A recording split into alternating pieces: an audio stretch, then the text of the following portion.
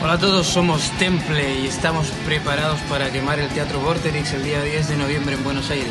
Nos vemos allí.